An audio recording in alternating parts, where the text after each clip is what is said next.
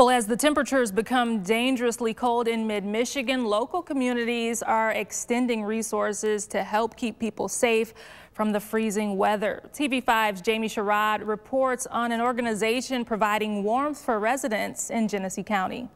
Hopefully no one in this community dies because of these frigid temperatures um, simply when, they got a place that they can go. A safe haven for those seeking warmth in Flint as temperatures drop to the single digits overnight with sub-zero wind chills. Catholic Charities, one of many buildings opening its doors as a warming center to ease the strain on other crowded shelters in the area. Some of the shelters are running um, quarantine facilities and isolation areas for those with COVID, and so that makes an impact on the number they can have in there. The center opens its doors at 7 a.m. They have breakfast in the morning, so they get a hot meal every day, and then for the evening they have a sack lunch. And closes them at 8 p.m providing a warm, safe space for those in need to rest overnight, right here on these mats.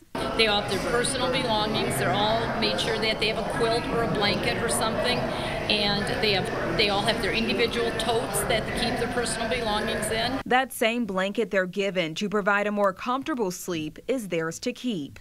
Catholic Charity serves close to 300 visitors a day and say it's a blessing to share the warmth with those in need. We're very grateful that we have the facilities and we're grateful that we have the heat on. In Flint, Jamie Sherrod, WNEM TV 5.